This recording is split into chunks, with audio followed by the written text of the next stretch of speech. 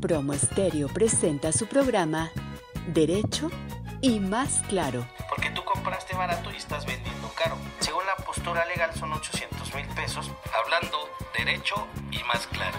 Con la conducción del licenciado Víctor Contreras. Pero antes, insistir en que la ley Olimpia no es una ley, sino un conjunto de reformas que se han dado a partir de la denuncia de una activista. Un espacio informativo sobre asesorías jurídicas, litigios, discusiones sobre temas de importancia y de actualidad relacionados con el ámbito del derecho. El día de hoy vamos a hablar de un tema es polémico respecto del poliamor.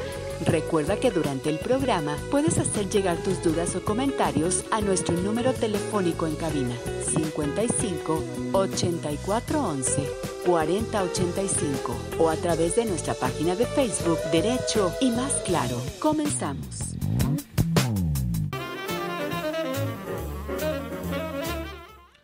Amigos todos, ¿cómo están? Sean nuevamente bienvenidos a su programa jurídico favorito, Derecho y Más Claro. Antes de entrar al tema de hoy, que es bastante interesante, polémico y discutido, quisiera ofrecer en nombre de nuestra de nuestro programa una sincera disculpa porque nos hemos tenido que ausentar en las últimas emisiones por temas eminentemente profanos entiéndase, profesionales. No obstante, pues aquí... Se me hace que andabas haciendo campaña, licenciado, ya Ah, para ser ministro. Y, Por supuesto que no. o ¿eh? magistrado, Por supuesto. o juez, de ninguna manera. De juez ninguna municipal, aunque sea licenciado. manera. De ninguna manera. No obstante, pues la verdad es que sí fue bastante triste ausentarnos de Sin duda. esta cabina y en consecuencia de poder transmitirles nuestros programas. En ese sentido, pues como ya lo seguramente lo vieran anunciando y para los que nos están escuchando en vivo, el día de hoy vamos a retomar un poco la reforma al Poder Judicial, pero única y exclusivamente respecto a la posibilidad de las elecciones de ministras, magistrados y jueces. Para retomar un poco con el ánimo de que los que no escucharon nuestro programa encuentren el sentido a este y pues ya si tienen dudas pueden este, ir a, nuestros, a nuestro programa anterior. ¿En qué consiste la reforma al Poder Judicial? Muy sencillo. Esta consta de cuatro objetivos. El primero, una nueva integración de la Suprema Corte de Justicia. El segundo, la elección popular de ministros, magistrados y jueces. El tercero, de sustitución del Consejo de la Judicatura Federal. Y el cuarto, de nuevas reglas procesales. Como vamos a abordar exclusivamente el día de hoy sobre la elección por voto popular de ministros, magistrados y jueces, a manera de un muy breve resumen les comento que respecto al primer objetivo, entiéndase la nueva integración de la Suprema Corte, nos encontramos con que se verá reducido el número de ministras y ministros. Actualmente son 11 y pasarán a ser 9. Es correcto. En segundo plano, estos verán una reducción importante en su encargo. Actualmente duran 15 años en sus puestos y ahora eh, la idea es que pasen a durar 12. Se eliminarán las pensiones vitalicias para actuales y futuros ministros y las remuneraciones deberán ajustarse al tope máximo establecido para el presidente de la República sin excepción alguna. Esto va en función de que actualmente el presidente tiene un sueldo de más o menos 110 mil pesos, igual que el resto de los funcionarios y servidores públicos. No obstante, para Y los ministros lo ganan a la semana. para los príncipes de la Suprema Corte de Justicia, La este, burocracia dorada. pudieran llegar algunos, sobre todo el, el, el ministro presidente, como también lo es del Consejo de la Caricatura, de la Judicatura, perdónenme, a ganar hasta 700 y tantos mil pesos. Entonces, pues, aquí ya no se antoja tan tan bueno el puesto, ¿no? Y la campaña, licenciado. Vamos a hablar de eso. De- permíteme este, terminar con otro de los objetivos, como ya lo comentamos, es la sustitución del Consejo de la Judicatura Federal. Este se verá extinto totalmente. Bueno, en, en una parte, ¿eh? porque también la otra propuesta es que sí se quede el Consejo de la Judicatura, pero solo para los temas exclusivamente administrativos, mientras que el Tribunal de Disciplina será ya el órgano encargado de llevar a cabo las sanciones sobre la No, conducta del ver, personal. Para no confundir a nuestro público, el, el Consejo de la Judicatura, como lo conocemos en la es- actualidad, es va a dejar, eh, exacto, va a dejar, digamos que, de funcionar como lo hace actualmente. Lo que va a pasar a ser es que este consejo se va a distribuir en dos órganos, uno de un tribunal de disciplina judicial Es y el correcto. otro de administración judicial. El de justicia o más bien de disciplina judicial va a pasar a ser integrado por cinco magistrados electos y durarán en su encargo seis años. Mientras que el de administración judicial son cinco personas designadas por un periodo de seis años. Como ya lo comenté en nuestro programa anterior, abordamos a detalle en qué consiste cada uno, cada una de las funciones tanto del Tribunal de Disciplina como de Judicial como del órgano de administración judicial. Así que si tienen alguna duda pueden sin ningún problema eh, escuchar nuestro programa anterior.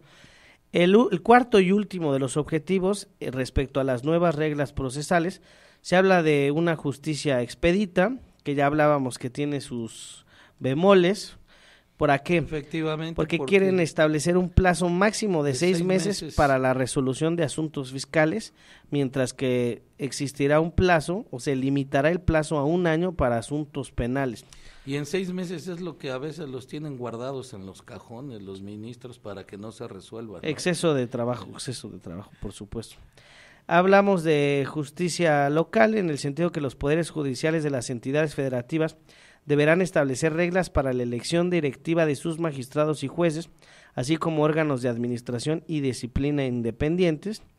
Y bueno, la idea es que con esto se extingan los fideicomisos al Poder Judicial. El objetivo que vamos a platicar o que vamos a abordar el día de hoy es única y exclusivamente sobre la elección por voto popular de ministros, magistrados y jueces. ¿ok? Voy a explicar un poco en qué consiste. Igualmente me gustaría que me compartieras tus impresiones y voy a dar la opinión respecto a únicamente este tema porque sí creo que es un retroceso importante en la administración de justicia en nuestro país. ¿De qué va o en qué consiste la reforma? La idea es que en 2025 se realice una elección extraordinaria para renovar a todos, no importa cuándo entraron o cuánto les falta para ejercer su encargo.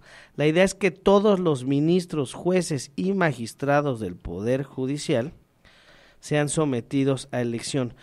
Hablando particularmente de los ministros que duran en su encargo 15 años, a lo mejor habrá por ahí uno o dos particularmente que pues les quedan todavía 10, 12 años de Sí. incluso 14 por ahí a la hay última. algunos que ya están a punto de concluir. Están a punto de salir, claro.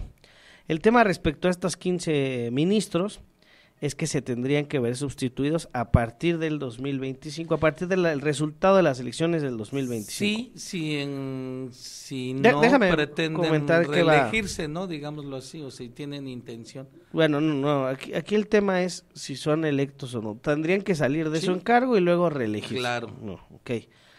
De, en eso consiste la reforma. Ahora, habrá la selección de candidaturas. ¿Cómo se elegirán o cómo se postularán las candidaturas únicamente de ministros? Bien, se van a elegir 30 pues, 30 candidaturas, habrá 30 postulaciones de 30 personas diferentes. Y de 10, 10 y 10. O Pero sea, 10 del. Estas 30 no las va a escoger la gente. La, estas 30 se van a dividir de la siguiente manera. 10 las va a proponer el Ejecutivo Federal. Las otras 10 el Legislativo Federal. Entiéndase que 5 candidaturas saldrán del, con- de la Cámara de Diputados Baja y, de 5 del Senado. Entonces ya llevamos 20 y finalmente el Poder Judicial propondrá hasta 10 candidaturas a través del Pleno de la Suprema Corte por mayoría de 6 votos. Es decir, que los que estén, los ministros que estén, que actualmente son 15, van a promover o impulsar, perdón, actualmente son 11, van a impulsar o a promover únicamente a seis, 10 a- candidatos. Ajá, sí, es correcto. Pero estos Pero 10 el- el- tienen que ser electos por el- una votación interna de Mínimo mínimo seis votos, ¿ok? Entonces así es como los ministros, que insisto, a través de la reforma la idea es que sean nueve, serán electos de estas 30 personas. Pero ¿qué pasa? Ya les hablábamos de los magistrados que van a integrar el Tribunal de Disciplina. que es lo que va a venir a sustituir de alguna u otra forma el Consejo de la Judicatura. Ahí hablamos que son cinco. Pues estos cinco magistrados, ojo, magistrados, no ministros, estos cinco magistrados también saldrán de estos 30. Sí, hay que decir que actualmente el Consejo de la Judicatura se encuentra compuesto por representantes del Poder Ejecutivo, uno, y los demás son este, miembros del Poder Judicial Federal.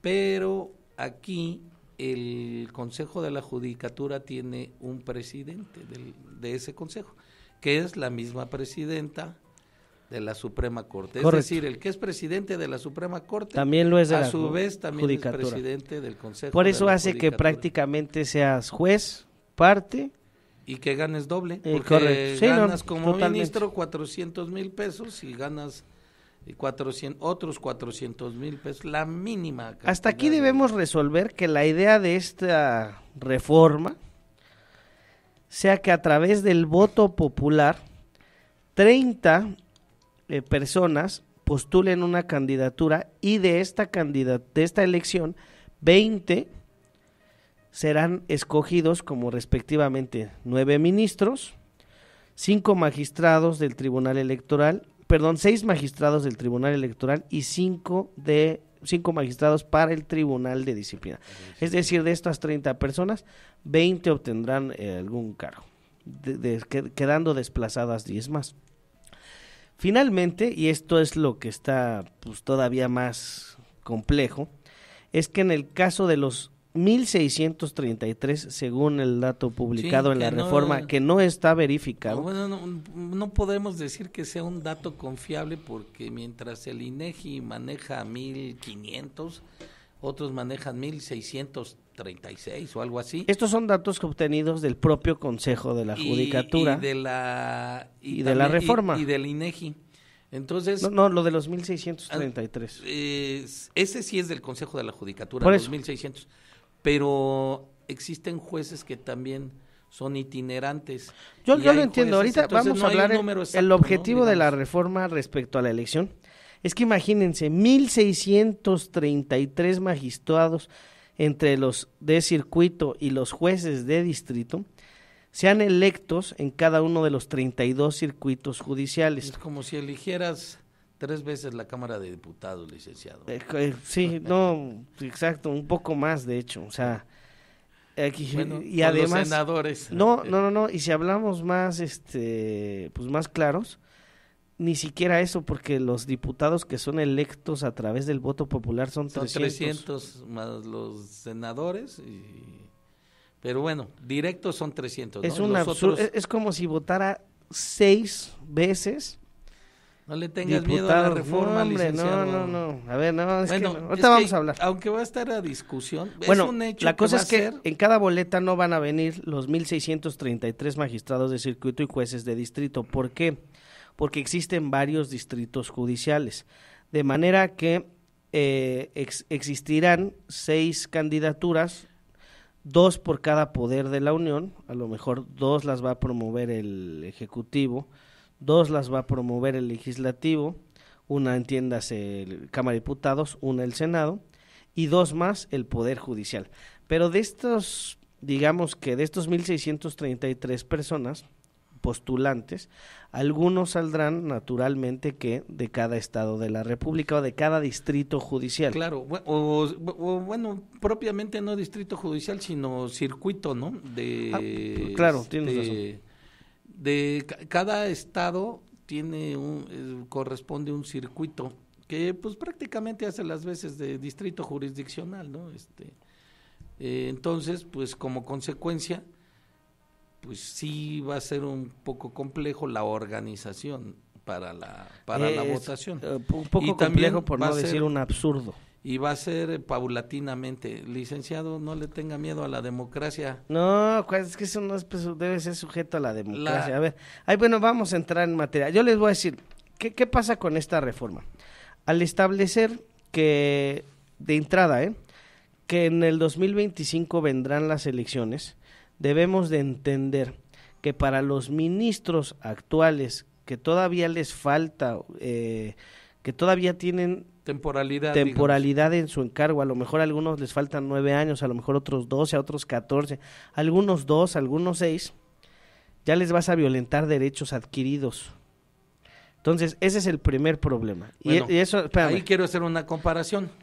Cuando en 1994 Cedillo, de un plumazo. Aquí hay debate sobre la reforma, pero en aquella ocasión Cedillo, de un plumazo, tumbó a 23 ministros, que eran, lo, eh, que bueno, cuando estaba integrada en más salas, ahorita actualmente hay dos salas. Eh, antes eran cuatro salas, eran cuatro y un auxiliar, en total eran cinco salas, eran 23 ministros y había por ahí, si no mal recuerdo, otros tres que eran supernumerarios y de un plumazo los hizo renunciar y no pasó nada. Entonces quiero entender que como lo hizo Cedillo, ahorita ya está bien y hay que ser, incluso uno de los ministros fue el encargado, el, el ministro Poticet, pero es que fue el encargado de esa reforma y no pasó nada. Bueno, obviamente porque los mandaron a su casa con 400 mil pesos mensuales, dos choferes, un cocinero. Está bien, pero no tiene ningún sentido que como en el 84. Por eso no, pasó nada. Es que no es que pase o no, estás violentando derechos en aquella ocasión no se quejó ningún ministro de que le hayan violado sus derechos. Aquí el tema no solo es respecto a la temporalidad. Vamos a entender. Imaginemos que tú obtienes por designación del Ejecutivo, y no, no forzosamente del Ejecutivo en funciones, entiéndase Andrés Yo quisiera decir algo antes. Es que actualmente, contexto. Es que actualmente, si te das cuenta, los ministros mm, transitan para su nombramiento sobre un proceso de votación. Y te voy a decir por qué. Porque el Ejecutivo manda una terna para su designación. Esa terna la manda al Senado y el Senado vota después de una entrevista y hace una designación. ¿Quiénes son los senadores? ¿No son representantes populares? No. Los representantes populares son los diputados. Bueno. Los senadores, no, no, no. ¿Pero no fueron electos por votación? No la, no la mayoría, algunos por votación popular. Bueno, sí, igual que los diputados, algunos. Pero es que la diferencia es que los senadores... Son representantes estatales. Exacto. Sí, pero si no dejan de ser representantes populares, porque fueron electos mediante una elección. Pero aquí, en el contexto central, son elegidos por votos. ¿De quiénes? De los senadores. Entonces, si te das cuenta, es, es que eso entonces es una democracia indirecta. Por eso, pero es una forma de transitar. Es que cuando dices no le tengas miedo a la democracia, pues si ya los escogen los senadores. Bueno, no, porque también a veces le dicen al ejecutivo, ¿sabes qué? Te rechazo tu terna. Bueno, y, él lo propone. Y si no, pues definitivamente entonces él ya la designa. Es que fíjate, vamos a hacer, les voy a decir nada más como contexto. A ver, van a ser ¿Cómo se escogen los ministros? Los ministros son las 11 personas más importantes en materia de administración de justicia en consecuencia del Poder Judicial de nuestro país. El órgano máximo. Ok, ¿cómo se escogen? El Ejecutivo Federal, ¿cuál? El presidente que esté en funciones manda una terna al Senado, entiéndase, tres personas, le dice, yo, yo creo que estas tres personas, cualquiera de ellos puede ser ministro de la Corte. Esta terna llega al Senado. El Senado dice, ah, por mayoría debe de escoger a uno. Este, este es el bueno. Si no escoge ninguno, el Senado, entiéndase que tiene la capacidad, tiene la facultad de rechazar a los tres. Rechazar esa terna. Si rechaza a los tres, el presidente tiene la opción de escoger otra terna o, mandar esa misma. O la misma. Ok, entonces, aquí hay que entender que si esa segunda terna, ya sean las mismas personas o compuesta por tres diferentes, llega al Senado y el Senado otra vez dice, pues ninguno me convence, ninguno me convence, entonces el presidente escoge a uno de los tres que él mismo propuso. El problema va en función de que actualmente todavía tenemos un ministro electo por Fox, otro tenemos más de Peña, perdón, uno de Calderón, tenemos más de Peña y que son la mayoría y tenemos incluso Cuatro. Ahora ya, Bueno, de Andrés Manuel, tres. y ahora ya tenemos tres de Andrés Manuel. Sí, que es la Entonces pudiéramos, Loretta, la vamos a Batres tres propuestos de Andrés Manuel, no me gustaría decir de Andrés Manuel, pero son, No fueron propuestos por él. bueno, pues, o sea, lo, que- lo que voy es que no son de él, o sea, no se deben a él de hecho, pero digamos que al ser propuestas de Andrés Manuel, que son tres actualmente, No Ten- de facto, sino de jure, como dice el presidente. tenemos seis más de Peña Nieto, me parece, y dos ya nada más de Calderón. Entonces lo que dice, bueno, pues la venganza que muchos le llaman va en función de, pues como tengo todavía ministros del PRI, del PAN, y pues yo nada más tres de, piña y de de. Morena, y en- entonces pues lo que pasa es que se ha politizado el Poder Judicial. Por eso es que se sugiere la necesidad de impulsar esta reforma. El tema es que yo en lo personal, si bien no me opongo a que sean electos los ministros, ojo, los ministros, en, los demás, en cuanto a los demás, la verdad es que no me encanta la idea, pero en cuanto a los ministros no me opongo a que sea una elección. Lo que me molesta es que sea popular y voy, estoy exponiendo mis razones. Fíjense, ya expuse una, el tema de derechos adquiridos respecto de los ministros, particularmente los que le tienen temporalidad o les hace falta un tiempo por cumplir su encargo. Imagínate que tú, instituido por el Congreso de la Unión y reconocido por el Poder Judicial, obtienes un cargo, un trabajo para durar 15 años. Y de repente llega una reforma y te dice, no, pues vas a ser despedido. Y si quieres volver a tener ese mismo cargo, pues entonces lo que tendrás que hacer es someterte a un proceso electoral. A ver, espérame. Ahí ya me estás violentando derechos adquiridos, que eso, según la Constitución, no debería de pasar, únicamente en cuanto a la temporalidad. Segundo, nos comentan que también a lo mejor ganas 400 mil pesos, pues ahora ya no, tu saldo va a estar topado a 100 mil, cosa que tampoco debería de ser porque cuando tú adquieres un trabajo, estás instituido por el Senado de la República, por la Constitución Política de los Estados Unidos Mexicanos, y te dicen vas a ganar 300 o 400 mil pesos, y de repente por una reforma de un plumazo te dicen, pues ahora ya nada más te tocan 110, espérame, eso también es violación a los derechos adquiridos y en sí mismo a la Constitución, ¿correcto? Eso no pasa en ningún trabajo, pero bueno, aquí esta reforma pretende violentar estos derechos y no estoy oponiéndome que le peguen en la cartera a estos cuates, no, solo estoy diciendo que si vas a impulsar una reforma constitucional, pues deberías de vigilar que la misma respete la Constitución. Ahora, dos temas que son Pues el muy graves. constitucional. La mayoría de los impulsores de la reforma dicen, pues es que respeten la democracia. A ver, este tema, la verdad es que me parece un absurdo, porque, ¿quién, fíjate, ¿quién pone al presidente? El pueblo. Claro. Y si el pueblo manda una terna, indirectamente, ¿quién está escogiendo la terna? Pues, Pues, el pueblo, ¿no? Sin duda. Ah, entonces... Igual los diputados.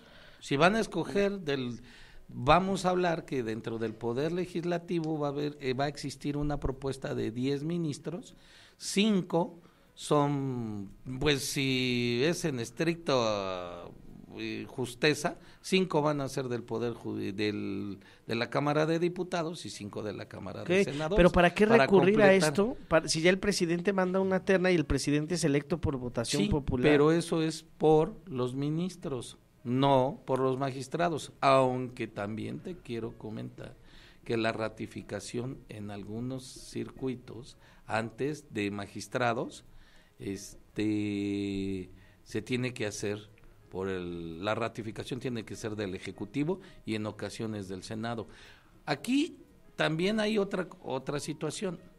Hay tribunales que son federales, como el Tribunal Federal de Justicia Administrativa, ¿qué va a pasar con esos magistrados? También van a ser de elección. Hay tribunales federales que son los militares y de esos nadie se ha hablado. Hay magistrados, hay jueces federales, militares. Es que aquí, te voy a decir que, que estás- Decir, van que yo es creo- que es del Poder Judicial No, de la Federación. correcto. Pero- sí, pero los hay- dos tribunales que me estás mencionando, ninguno de los dos pertenece al Poder Judicial Federal. Sí, pero hay, son juzgados federales. Pero no dependen del Poder Judicial y el, el espíritu de la reforma es únicamente al Poder Judicial. ¿Para qué abordar el Tribunal Militar o el Tribunal de Justicia Fiscal y Administrativa? No, porque si dependen del Ejecutivo. Van a llegar a ese tema. No, Igual que también en esa reforma, no sé si también van a elegir después, porque van a, es paulatina, y después van a elegir a los elementos de la Procuración de Justicia y a los fiscales, no sé si también los vayan a elegir, y también al fiscal general de la República, porque tiene que ser así. Es que es un No absurdo, ser de imagínense. otra manera. Imagínate, imagínate que sales, fíjate, imagínate que sales a votar y te encuentras con que hay 100, 1633 canijos en la boleta. ¿Sabes cuánto se va a tardar la gente en votar? Ahora, espérame. El que sea necesario, No, licenciado, la gente no va a salir a votar porque no le interesa Bueno, esto. ¿Quién sabe? Porque Si para hecho- escoger al presidente sale el 60% de la población. ok, pues Y va a salir el 60%. No va a salir y te lo apuesto porque cuando fue la... Fíjate todo el dinero que se gastan en un, un experimento que absolutamente no tiene una necesidad de ser. Y te voy a decir por qué, con datos duros. Cuando propuso su revocación de mandato y demás Andrés Manuel y que dijo, no, y la gente va a salir a votar y va a salir a votar, ni siquiera se juntaron, ni, fíjate, ni siquiera se juntó En la revocación sí, donde no salieron Eh. fue para... La revoca se juntó por el mínimo. eh, pero Se juntó en lo- apenas. En lo, que se juntó muy poco Esto fue va a ser como la consulta popular. en que, la en- consulta popu- enjuiciar a los, a los expresidentes. En La gente sí. no salió a votar. Ahora, si estamos pensando en que no se juntó ni el 2% de la población que puede salir a votar, entiéndase que la consulta fue un rotundo fracaso. ¿Tú crees que la gente va a salir a votar? Pues por que va a mil se- tener que salir a no, votar, es que no, es, no es claro. forzoso, no Pues, es a ver, forzoso. yo te voy a decir por qué. Todo el dinero que se van a gastar y va a, fa- va a ser un fracaso. Lo tiene el INE, no, no te preocupes, el INE tiene mucho pero es que dinero son para eso y despilfarros, para más. pero son despilfarro, es un despilfarro público es- innecesario. Habría que ver, porque todavía no han dicho las fórmulas, cómo se va a desarrollar la Ah, votación. eso es algo. Eso es muy importante que se pongan de acuerdo, ¿no? No hay Pero mención, de que van a ser elegidos popularmente es un hecho. como dice el propio Andrés, está por verse. Y te voy a decir por qué es lo preocupante. Lo van a detener a la más, lo van a alargar si quieres por los amparos, pero recuerda que van a tener que promover amparos a una reforma constitucional. O sea, es algo que hay que ver cómo va a estar el diseño. No, a ver, ¿Crees que sea inconstitucional? lo graba y me gustaría que nos comentaran en sus casas. ¿De verdad sabes quién es tu diputado local? Pues ¿Sabes el sí, nombre? La gente no sabe. Hay mucha basura electoral. La gente no sabe- menos, la gente no si- sabe si quién sales es- diario y ves a tu La gente no sabe quién es su diputado local. No sabe cuál es el, dupi- el diputado A lo plurinominal mejor el que lo representa. pero el local y el federal. la gente no sí. sabe, la gente no sabe quién es el Pues senador que habría lo que hacer esa representa. encuesta, licenciado. Y todavía tienen o tienes el descaro de decirme que vas a saber quiénes son tus jueces que te imparten administración de justicia civil, cuáles son los que te imparten administración de justicia penal, cuáles son los que te Ah, laboral. No van a tener ni idea y te voy a decir algo, tampoco les interesa. Ahí va. Yo creo que sí, porque votaron Se van, a, se, van a, gan- se van a gastar miles de millones de pesos para que la gente no salga a votar. Bueno, aquí hay una cuestión. Va a ser un fracaso brutal y habrán despilfarrado muchísimo dinero. Aquí hay una cuestión. ¿Por qué le llaman plan C? Pues porque ya tuvieron antes un plan A y tuvieron un plan B. Y de hecho, antes de que fuera la reforma, se le dio la oportunidad a que el propio, el propio Poder Judicial Federal sentara las bases para su transformación, porque obviamente ya está rebasada la, la reforma del 2000, del 94 está totalmente rebasada. Sabemos que el Consejo de la Judicatura, pues es un órgano que, pues ahora sí que se encarga de aplicar las sanciones solo cuando hay indicativos muy específicos. De acuerdo. Sabemos que hay juzgados de distrito en materia administrativa que sabes cuánto duran las sentencias. En la propia corte los eh, recursos de ver, revisión. me queda muy claro- me queda muy claro que- necesaria una reforma por todas las cuestiones. Estoy de acuerdo en eso. El Poder Judicial Federal- nepotismo que existe El Poder evidente. Judicial Federal como funciona Bueno, hasta ahorita pero a ver, ya no funciona. Espérame. Estoy de acuerdo en la plan necesidad de una reforma. Entonces estamos de acuerdo. No en la elección. Bueno, En la necesidad de una reforma sí. Pero tuvieron la oportunidad de hacerlo en el plan A. Luego tuvieron el plan B y en ese incluso el ministro Saldívar en retiro hizo una, una exposición súper adecuada para la reforma del Poder Judicial. No quisieron. Entonces dijeron, bueno, pues ya tenemos el plan C. ¿Cuál es el plan C? Reformar la Constitución. Pero fí- fíjate y lo ma- entonces sí, no. ya reformar el capítulo específico de lo que se refiere al Poder Judicial Federal. Pero- Pero a ver, espérame, también, en el sentido de que ahora, para poder retener esa reforma, pues hay que decirle al pueblo que necesitamos los elementos esenciales para ello, que son, pues que salgan a votar para que tengamos la mayoría y sobre esa mayoría se pueda hacer la reforma y a su vez presentar esa, es, ese proyecto de, de reforma constitucional y pues proceder. ¿Y qué pasó? Se tengo la mayoría, o sea, es la democracia. Que no, es que la democracia no funciona así. La democracia no, no puede ir por encima de la invasión de poderes, que deberían de ser cada uno independiente. Aquí el, el Ejecutivo, de facto también el Legislativo, están ordenando que cambie toda la estructura y el funcionamiento del Poder Judicial Ese Federal. De inicio te comento, esto a mí no me parece una mala idea. Lo que me parece deleznable y que es un absurdo tanto en lo económico como en lo jurídico es el tema de que sea por elección. Y te voy a dar otro dato. Si consideras los miles de millones de pesos que se van a tirar para una elección en donde la gente no va a salir a votar, va a ser abismal. Y no es lo mismo que se hace a veces con las diputaciones locales y Ah, eh, eh, federales. eh, es que entonces me está- tú me estás haciendo analogía de como ya la cagamos aquí, entonces en vez no, no. vamos a cagarla Pero también hay una acá, y hay que institución seguir que este tirando el dinero y seguir y seguir. y Por eso seguir. es el proyecto, a decir, a ver, bueno, ya nada más vamos a ponernos de acuerdo cómo quieren elegirlos. Y una de las propuestas es que esas elecciones las realice el INE, nada más hay que ver cómo. Pero es que no y pueden ser populares, gasten, es lo que no tiene sentido. Los millones que se gasten los tiene el INE. O a ver, explícame por qué. Fíjate. ¿Qué el- preferirías? no, ¿Que se los den esos millones de pesos al PRD? ¿O a partidos No, inexistentes? no es- no es que se ¿O los que los ocupen No es que- eh, en un ejercicio ciudadano para votar que los jueces sean elegibles? Es que no le puedes dar, a ver, ¿por qué Tenemos voy a, le voy a ejemplos mundiales no, no, no, de la elección de que jueces. no funcionan. ¿Por qué no? Porque me vas a decir Estados Unidos. No, en Bolivia, en, en Japón, en Italia. Entonces, y, No y funciona. Bueno, no funcionan. ¿tiene poder judicial o no? A ver, va- vamos por pausas. Fíjate, no, es que eso es un absurdo. Mira, te voy a decir nada más. En México, que no es Japón, ni Bolivia, ni Estados Unidos, Ni ten- Italia. tenemos una crisis grave de narcotráfico. Grave, gravísima. Prácticamente vivimos en un narcoestado.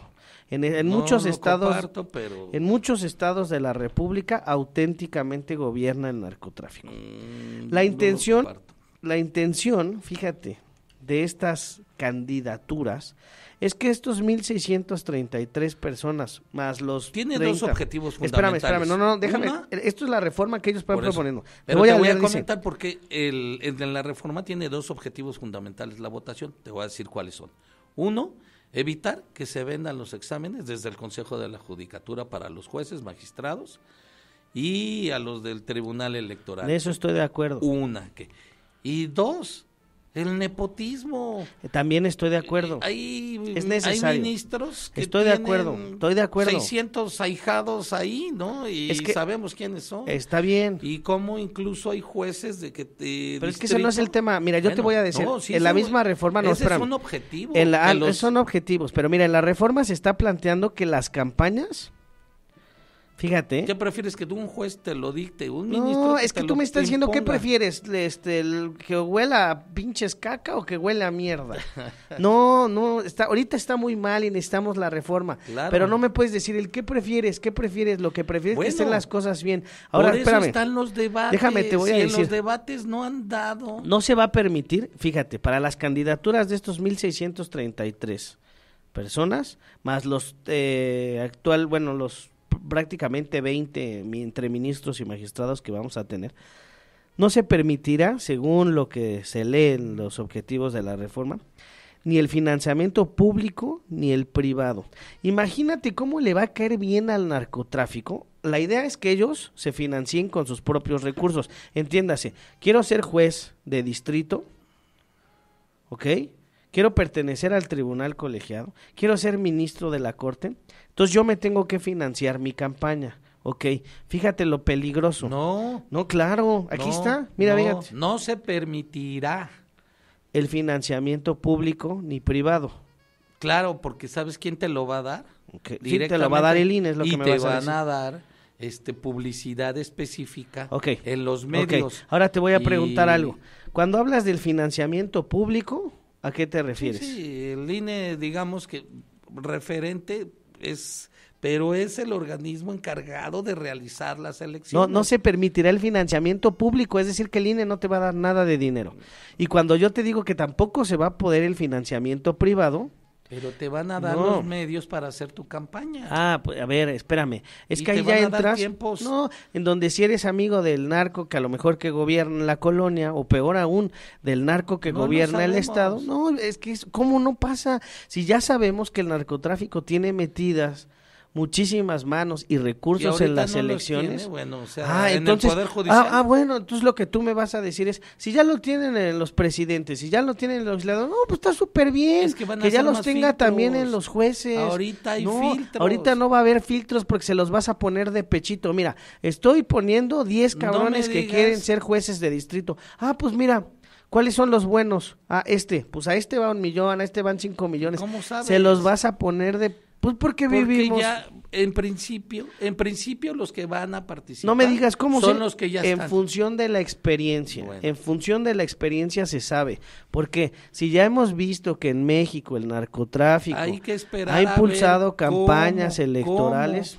Ahorita, Ahora, lo peor- porque dicen es por voto popular, sí, pero falta el mecanismo que se desarrolle para el voto y va a ser un filtro. No, es que les das dando todas las facilidades, todas, ahorita- para que el único poder, fíjate, en el, en el ejecutivo, en las campañas, meten recurso al narcotráfico. Ahorita cómo presidentes es el proceso? municipales, te estoy hablando de gobernadores y en ocasiones hasta del presidente y por ahí Calderón, no te cuento que ya este, en Estados Unidos ya quedó acreditado como muchos de los recursos públicos con los que llegó tanto él como Peña Nieto eran provenientes del narcotráfico.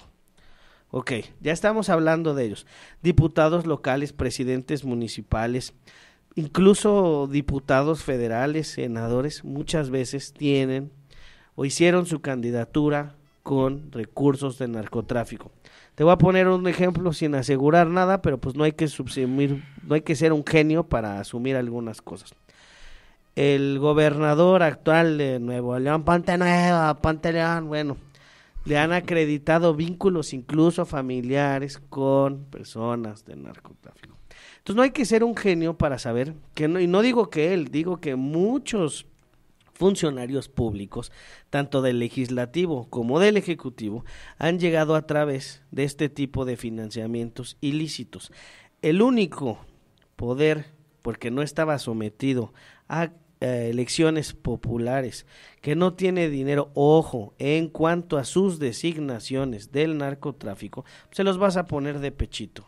Vénganse, mira, a ver, este cuate quiere ser, quiere ser juez penal. Puta, todo madre, porque además si caigo en su juzgado, pues igual y en vez de darme los 20 años que me tocan, pues igual y nada más me dice, no, pues ¿Y qué, son ahorita 20 no lo días. hacen?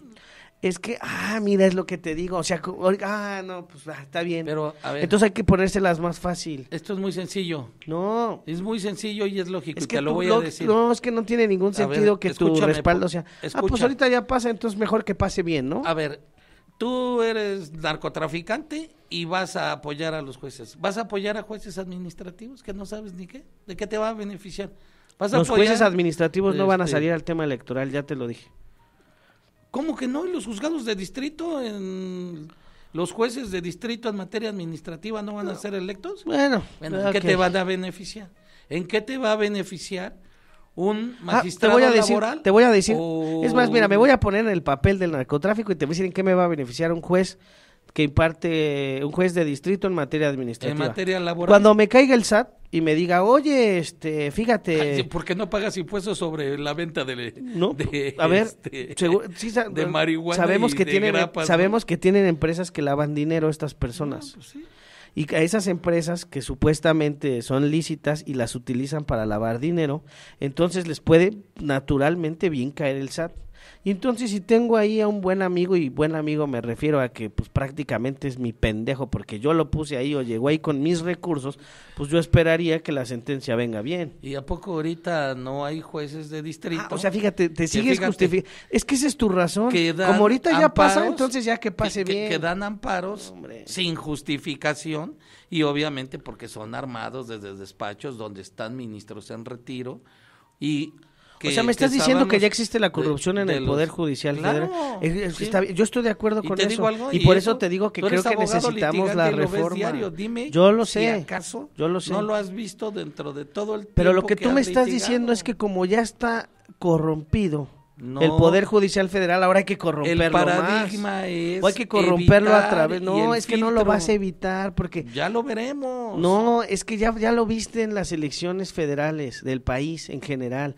Ya viste A ver. en las elecciones Entonces para es doble, ahora te legislativo. voy a dar, Hombre. ahora te voy a Si dar ya viste dónde llegan y cómo dices. llegan. Bueno, pues entonces así van a ser según tú, porque entonces ahorita por la influencia que tuvo el narcotráfico, se ganó la elección para que viniera el plan C. Dices, oye, pues también es medio No, absurdo, a ver, ¿no? a ver, espérate, es que fíjate, eso que me hablas del plan A, el plan B y el plan C. A ver, Sí, lo que tú me estás diciendo es que el Ejecutivo, fíjate la, lo irrazonable de su justificación del plan C.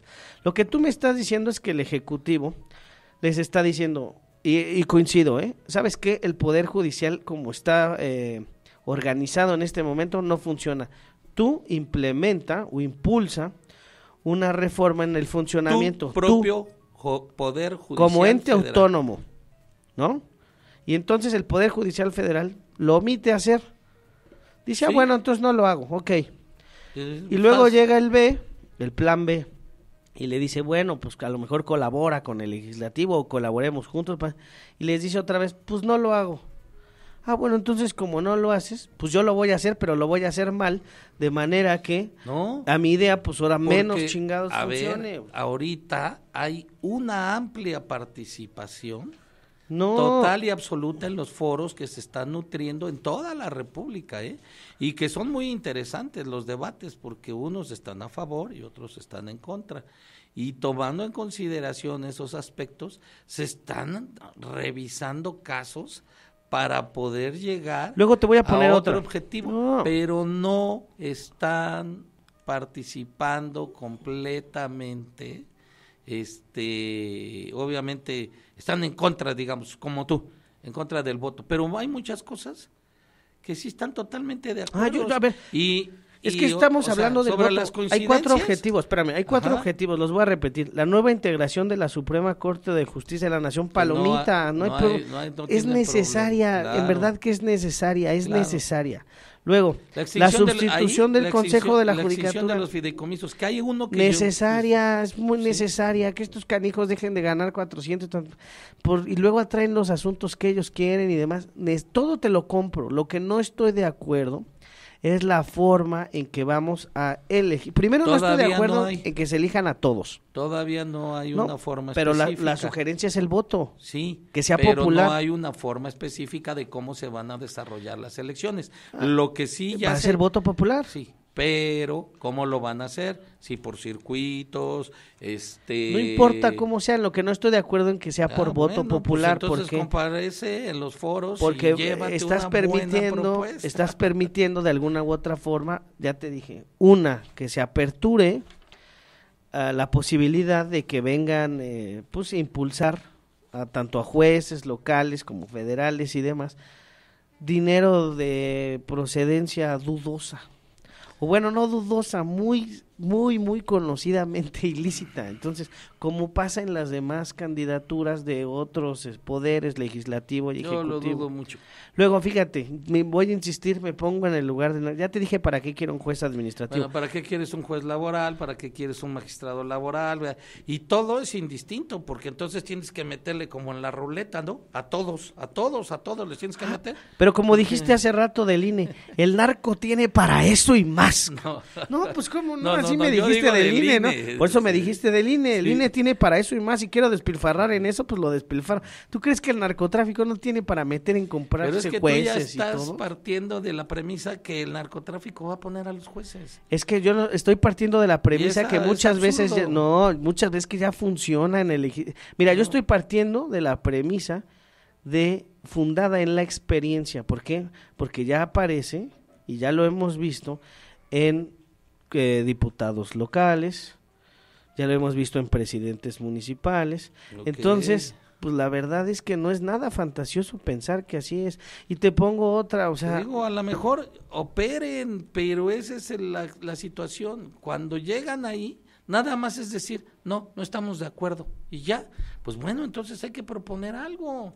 A ver, es que hagan una propuesta especial y específica para la forma de la selección o la elección de los jueces. Ok, aquí hay otro problema. Y si no hay específicamente una, pues te digo, ya está la reforma. Y lo que sí, si se quedan impávidos o se quedan inmóviles en cómo pueden cambiar esa elección o esa forma de designación de los jueces, magistrados, de los ministros, ya sabemos, no hay problema, ¿no? O sea, ya este los ministros hasta cierto punto lo veo bien, ¿eh? Es entendible. Pero los ministros, los magistrados de circuito, en esos no magistrados que habría que ver porque antes el mismo Senado de la República los ratificaba, igual a los magistrados de los sí, pero me estás hablando de los del Tribunal Superior de Justicia en los estados también los designa el gobernador y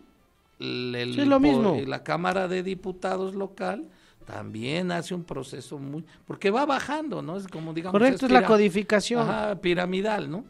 Pero aquí dicen, "Están de acuerdo" y no comparecen a los foros el poder judicial y si van, pues se van a atacar y no hay propuestas. Entonces, pues dicen, "Oye, este fíjate, un juez de distrito en Chiapas en un foro específico dice, quieren que nos elijan, ustedes también, eso lo dijo ayer un, un, ministro, ¿no? Pues porque también hay que elegir a los secretarios de Estado, ¿no? O sea, ve, qué comparación, ¿no? Pues es la misma que tú me estás haciendo. Bueno. Ah, pues como ya...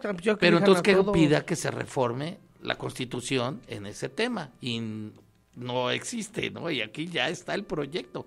Ahora, a ver, nada más, pero, no, te voy a hacer una pregunta. ¿El Poder Judicial tiene las facultades constitucionales para mandar, para impulsar reformas? Pero que le impulse. Ah, ah, pues es que ya me estás inventando una facultad que yo no sabía que tenía el Poder Judicial. Yo no te estoy diciendo, pero me estás diciendo que impulse aquí, una reforma para poner a los secretarios. el, Poder Judicial no hace eso. Te voy a Esa no es su función. Un, un juez de distrito en Chiapas dijo, este, ¿por qué nos quieren, por, qué nos quieren elegir por voto popular. Si nosotros, el Poder Judicial Federal, tiene más calidad de representación sobre, o sea, son más queridos que los diputados, ¿no? Son más queridos porque creo que los diputados nada más representan el 44, tienen más confianza sobre los jueces. Pues qué bueno, qué mejor, porque si salen a elección, es probable que llegue a más del 60%, ¿no? No, y lo peor aún, a ver, le vas a preguntar, fíjate, la falta de... Yo la verdad es que no lo coincido. Se entiende que a los diputados, como son representantes del pueblo, y todo el pueblo, sin importar su, pues de alguna u otra forma, su capacidad económica, sin importar de ninguna manera su raza, su género y demás, todos deben de estar representados. ¿Ok? No importa si tienes una escolaridad mínima o alta, en Cámara de Diputados todos deben de estar representados. Por eso es que todas las personas tienen las facultades de votar. ¿Qué pasa? Espérame. en la Suprema Corte, digamos, antes se buscaba que estuviera ese contexto híbrido, ¿no? Es decir, que hubiera ministros que pertenecieran a la academia, que hubiese ministros que hubiesen salido del litigio, que hubiese ministros que fueran parte del consejo. Aquí el tema es que, van, a, van a salir a votar personas que no pertenecen a la academia, personas que no tienen idea del litigio. Pues si eso es el, No, porque es voto popular. E, ese es el objetivo esencial en principio de los colegios de abogados. No, no te estoy diciendo que van a participar, Ahorita, te estoy diciendo que va a salir a votar. En los debates. Y sí, es importante, es importante que participen y den ideas porque está van a bien. a ver, escúchame. lo que yo te quiero poner muy, muy eh, a conciencia es que personas que no tienen yo voy a votar por ti para ministro. No, porque fíjate. Eh, personas que de culto. personas que tal vez no tengan ni el kinder van a salir a evaluar qué ministro magistrado está más preparado que otro.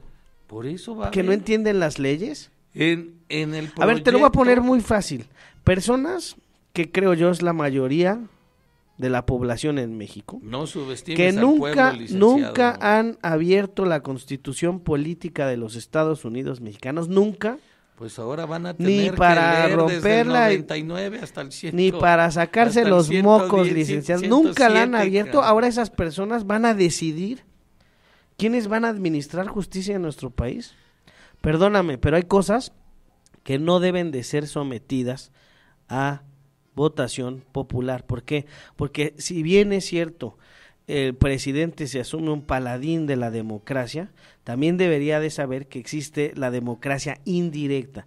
Y ojo, existen fórmulas para de forma indirecta elegir a los administradores de justicia. Una de ellas, a mi entender imperfecta, es como se venía haciendo, que el presidente que llegó por elección popular mande una terna que va a ser sometida por los, eh, va a ser, sí, de alguna, va a ser sometida ante el Senado, que es previo estudio y demás, va a escoger a uno, que como ya bien lo dijiste, el Senado también llegó por elección popular, por eso es democracia indirecta. Yo personalmente no coincido en que deban de estar o deban de seguir siendo electos los ministros, porque de facto está politizada la Suprema Corte de Justicia de la Nación.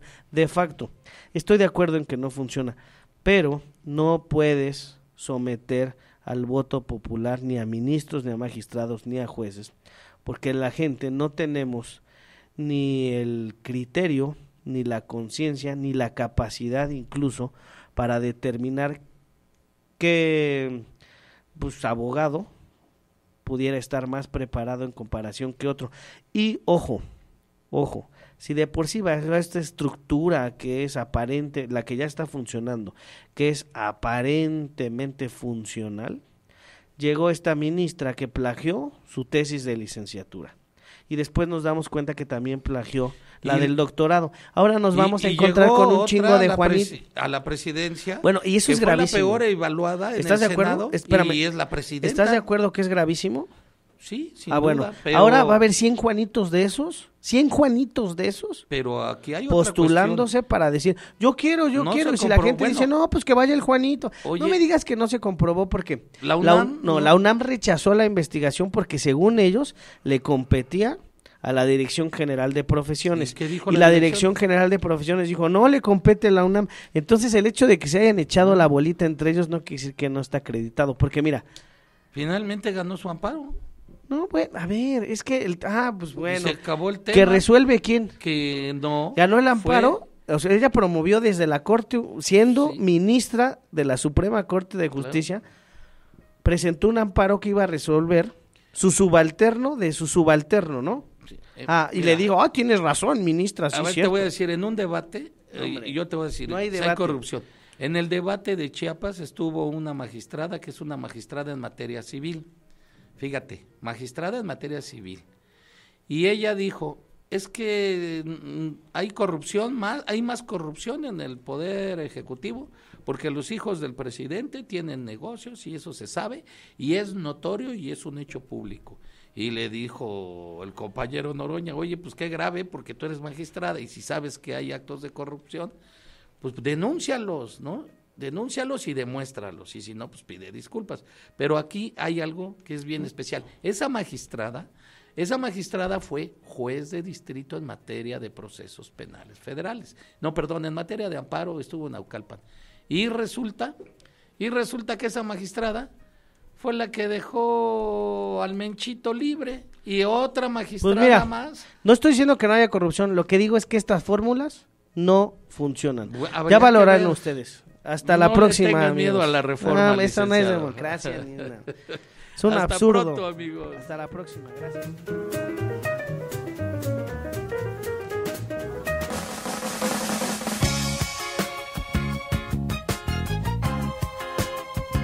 Este fue su programa Derecho y Más Claro, un espacio informativo sobre asesorías jurídicas, litigios, discusiones sobre temas de importancia y de actualidad relacionados con el ámbito del derecho, con la conducción del licenciado Víctor Contreras. Los esperamos en su próxima emisión, no sin antes recordarles que pueden volver a escuchar o descargar el podcast en la página de Promo Estéreo o en la página de Facebook Derecho y Más Claro. Para ponerte en contacto para alguna asesoría jurídica, también puedes enviar un correo a atención